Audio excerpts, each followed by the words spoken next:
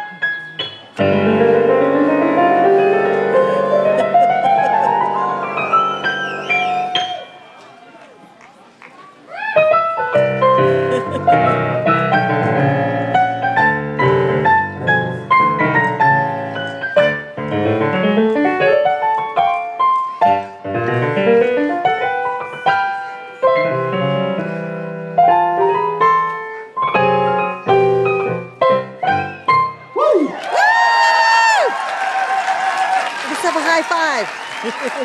Thank you, guys. Ladies